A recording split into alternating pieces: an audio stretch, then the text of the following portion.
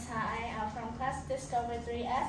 Today I'm going to tell, uh, tell about a story named Alex House Movie Stories.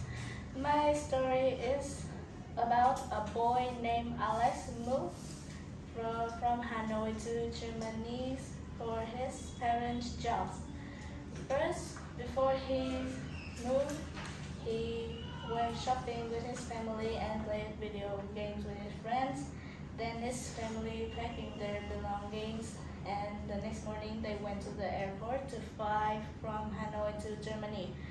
Uh, when Alex stands in front of his house, he, he felt really he felt really surprised because his new house is large, peaceful, and modern.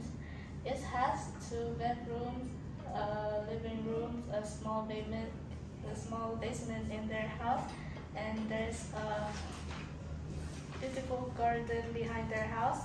His mom plans to grow some flowers there. Alex felt that uh, uh, the new place is really easy to live because the weather is perfect and the people there is is kind and friendly uh, to the immigrants like them.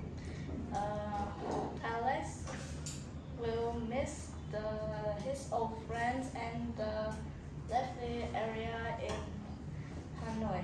Um, he will try to make friends with the new kids in uh, his school and neighborhood.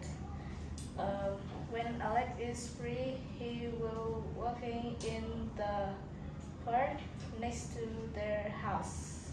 Thank you for listening. Goodbye.